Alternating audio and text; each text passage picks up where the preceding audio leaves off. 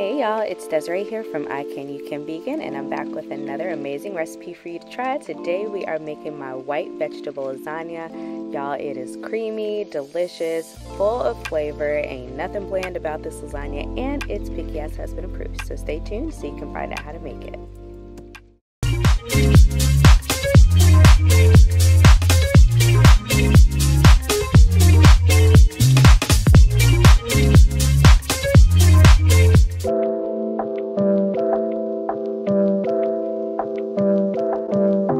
Alright, so the first thing that we're going to do to make this white lasagna is to make our white sauce that goes with it. And it's really simple. I took some uh, raw cashews that I had been soaking along with a bunch of seasonings, some almond milk.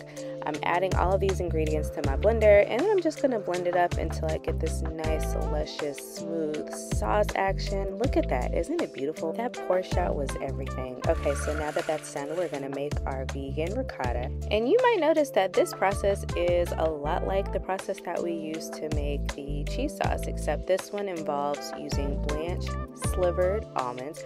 Always say that wrong, but I'm glad I said it right this time. But anyway, we're using blanched slivered almonds and we're gonna mix it until we get this like chunky, thick, pasty like consistency. Now it's time to start assembling our lasagna. So I always like to put a little bit of sauce on the base just so that the noodles don't stick. And when you're layering your lasagna sheets, it's okay to have to like break up the little pieces, you know, just to kind of fit the nooks and crannies no one's gonna know when the lasagna is all said and done here. So as you can see, I'm now just starting to layer everything here. Y'all don't be like me and use these huge uh, spoonfuls of uh, ricotta there.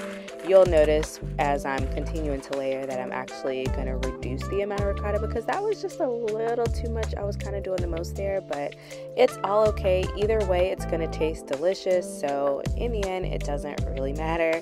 But as you can see here, I'm just going to continue layering until I have about three layers. Um, so I'm using my cheese sauce, the vegan ricotta, some mixed frozen vegetables, some frozen spinach, and some vegan Parmesan cheese.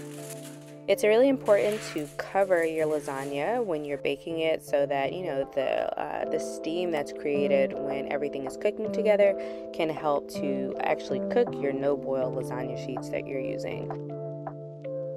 After you've cooked it for about 45 minutes to one hour in the oven, you can top it with a little bit of uh, fresh parsley, some uh, freshly grated Parmesan vegan cheese, and then you're ready to slice it up and enjoy. Y'all, I know you are going to absolutely love this recipe. I ain't lying when I say his picky ass has been approved. He actually is a really, really big fan of this recipe, which was a little bit of a surprise to me, but that's just a testament to how good it is, y'all. So go ahead and make this recipe and let me know how it goes.